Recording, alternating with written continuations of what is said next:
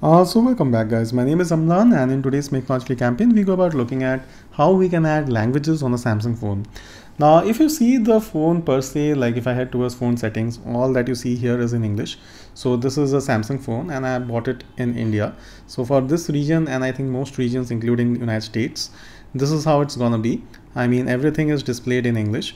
Now if I want to change this to some other language or say a certain regional language, well, it's very easy to do that. So the way we do that is by scrolling down, tapping on phone settings.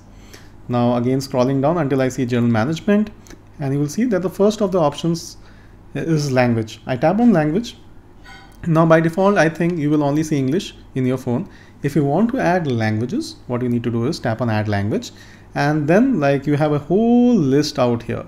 So once you select a certain language, uh, you will see that it gives you a option. One is keep as current or keep the current one or set this new language which you want to add as the default one. Well i want to use english like which is presently being used so i will keep the current but you will see that the marathi language or the new language has been added. Now if i scroll down and i check the phone settings you will see that it still shows everything in english it's because I have simply added the language, but I have not allowed my phone to use it for like, you know, rendering or displaying all the text on the phone. So if I want to do that, I tap on the language, tap on apply.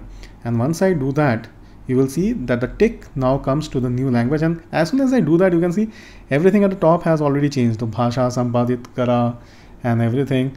Like you can see, I tap on settings and there you go. Everything has now changed. So this is how you not only add languages but this is how you can like set those languages as the default language in which text gets displayed on your phone. Now i don't want to use this language so i will go back to bhasha and i will like i'll go back to languages and set english as the default one. And as soon as I do that you can see all the text and everything is getting changed. But in case you are want, wanting to know how we can add languages well this is how easy it is. I mean you go to general management tap on add languages and then you have a whole list. So if you are in abroad or if you are in the country in a different region you have regional languages you have international languages. Even like if you select something like say french what will happen is like you know you will have like french from different region.